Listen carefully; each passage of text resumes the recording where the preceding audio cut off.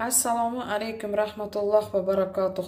Dildora uz kanalining kuzatuvchilari bugun sizlar bilan men g'oyibona bo'lsada yana ko'rishib turibman. Bugun sizlar bilan men o'zimizning o'zbekcha haqiqiy e, o'zbek somsasini ko'rsatmoqchiman. E, qisir qisir qilib pishadigan e, buning uchun bizga mana bunday mol yog'i uch dona o'rtacha kattalikdagi piyoz yalpiz va ismaloq barglari mana buni tozalab yuvib olganman. Har doimgidek ishga ketishdan oldin qilingan xamir tinib meni kutib turibdi. Bismillohi rohmanir rohim deb hozir boshlayman bu yerda ko'katlarni piyozni va mol yog'ini mm, maydalab olamiz.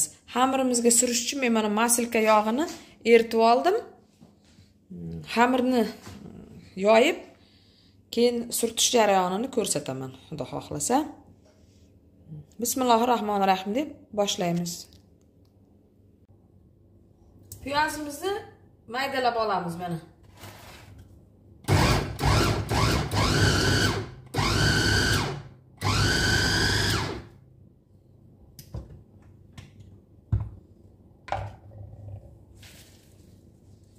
Mana bunday qilib yalpizlarni ham qo'shib yuboramiz.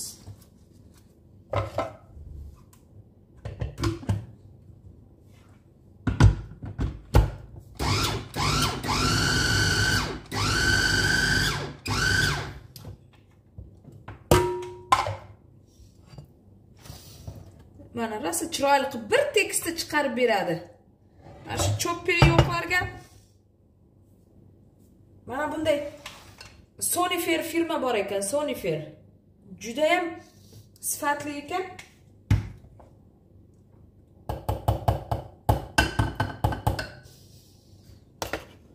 Piyoz bilan yalpizni bitta qilib chiqarib yubordim mana oson tezda chiqarib beradi.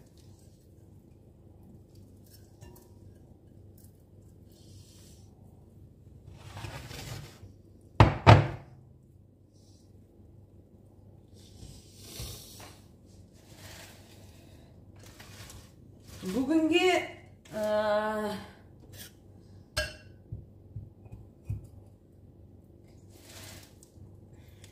bugungi tayyorlanadigan mana ismalog'imizni ham bir tekisda chiqarib berdi. Bir xil judayam chiroyli ko'rinishga keltirib berar ekan bu. Qizlar men mana mol yog'ini buyrak yog'ini solib oldim endi buni ham maydalayveramiz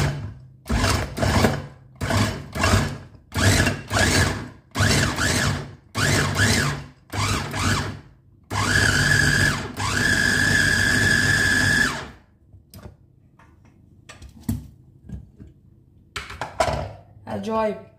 Xuddi bunday e, un maydaligida maydaligicha olib borar ekan. Qarang. Bolalaringiz hech qanday ajratolmaydi. Bu buyrak yog'i erib ketadi va somsangiz juda yam xudo xohlasa mazali chiqadi. Qarang qanaqa ajoyib chiqarib berdi. Endi mana hamma ko'katlarimizni va mol yog'ini chiqarib oldik. Chopperda maydalab oldik. Endi qo'shib yuboramiz. Faqat men hozirchalik tuz nima qilmayman.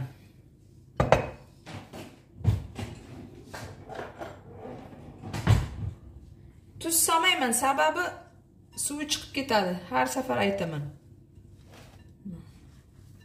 Tagida piyozlari mayin og'zingizda. Nima deydi? Bilinmaydigan qilib chiqarilgan.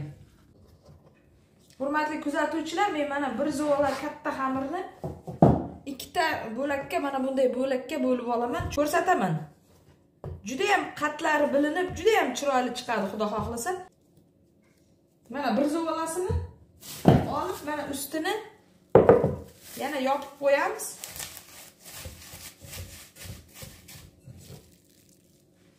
Ikkinchi olamiz.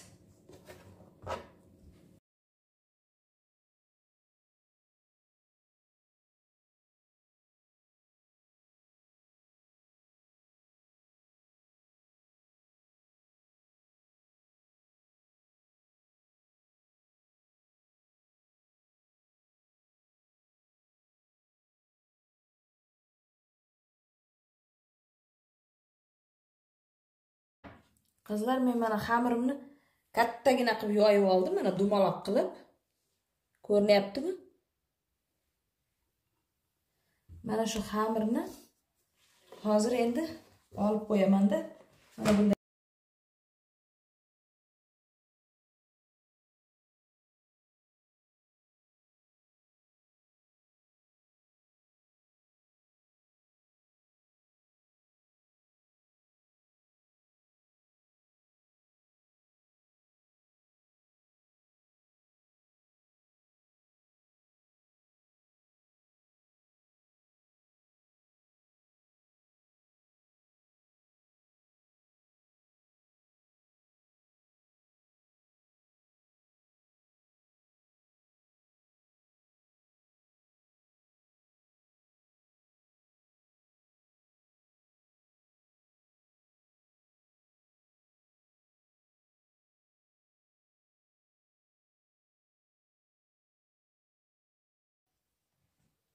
xamirimizni mana sekin sekin o'raymiz.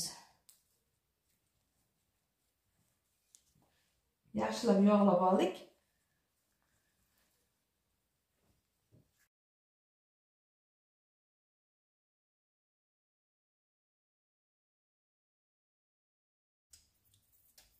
Mana ko'k o'tli nachinkamizga tuz qo'shib yuboramiz. Ismaloqqa juda ham ko'p tuz qo'shib bo'lmaydi chunki ismaloq tuzni uncha yaxshi ko'rmaydi. Bismillohi rohmanir rohim deb mana xamirimizni xamirimiz kesib olaman.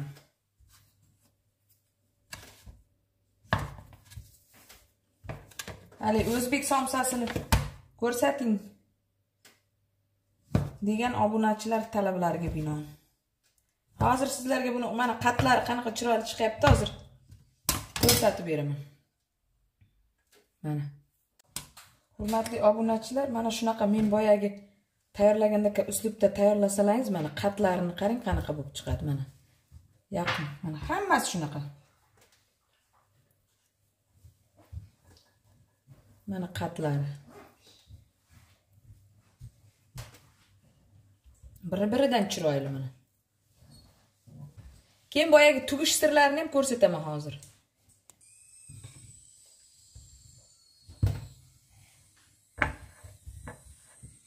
Ozgina ozgina ullab ullab boramiz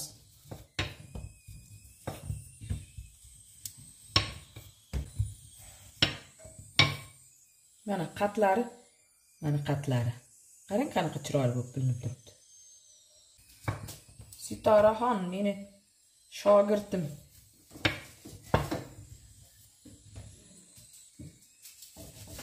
Bu tarafi ham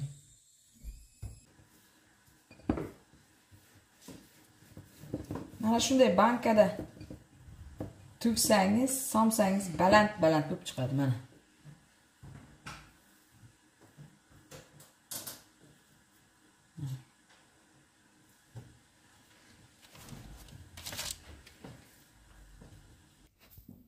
hurmatli kuzatuvchilar mana qarang somsalar baland baland bo'lib turibdi. Mana bu ikkitasini o'zim qo'lda tugdimda. Bular bankada tugilgan mana. Bankada tugilganlarni qarang qanaqa baland baland. Qo'lda mana bir ikki uchtasi qo'lda tugilgan. Bankada tugilganlari hozir pishgandan keyin farqini ko'rasiz. Hozir ikki yuz ellik gradusga qirq besh minutga duxovkaga qo'yib olamiz. Hurmatli kuzatuvchilar mana meni somsalarim. Qizarib pishdi. Hozir olib ichlarini ko'rsataman. Hurmatli kuzatuvchilar mana meni somsalarim ajoyib bo'lib tayyor bo'ldi. Mana judayam chiroyli. Hozir bitta somsani olib ko'rsataman. Mana taglari ham qip qizil bo'lib pishdi. Issiq. Hmm. mana suvi chiqib ketyapti ko'ryapsizmi? Oldu? bo'ldi. Acayip ajoyib bu bo'lib chiqdi. Tavsiya qilaman mana. Soç ne bo'lib chiqdi.